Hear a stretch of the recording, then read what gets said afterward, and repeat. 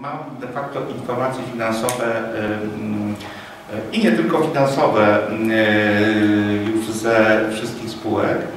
I proszę Państwa, mm, tak, mm, gdyby y, kondycja finansowa myślę, że jest niezła. Tak to ujmę. Natomiast mm,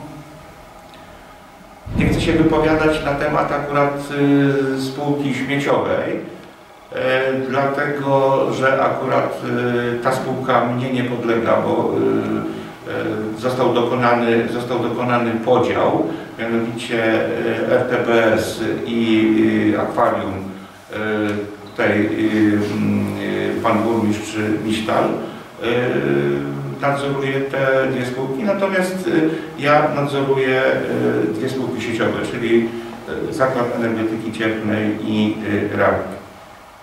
Y, I y, nie chcę się, znaczy znam sytuację, ale nie chciałbym się wy, wypowiadać y, za swojego szefa w zakresie potrzebnych mu spółek. To, to tak. No więc jeśli- proszę powiedzieć o spółkach z Okej. ZESI i... Pan zastępuje szefa. E, Ale to czasem po, pozwólcie Państwo, że e, no, skoncentruję się e, na tych dwóch spółkach, które, e, które e, bezpośrednio na, nadzoruję i, i, i mm, powiem Państwu tak. Sytuacja mm, myślę, że w tym momencie e, jest niezła. Co prawda były takie sygnały na początku z tego, z tego co czytałem, z tego co się za, zapoznawałem z informacjami, w pierwszym kwartale mm, Radik sygnalizował e, możliwość e, em, wygenerowania straty, ale sytuacja się unormowała i na dzień dzisiejszy w mojej ocenie ta strata nie grozi, a z drugiej strony może to się zakończyć Znaczy rok, rok finansowy powinien się zakończyć pozytywnie.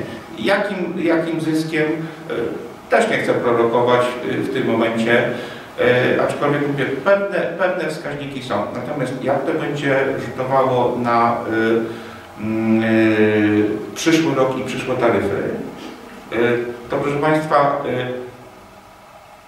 jeszcze nie w tym momencie, ale złożę taką de de deklarację.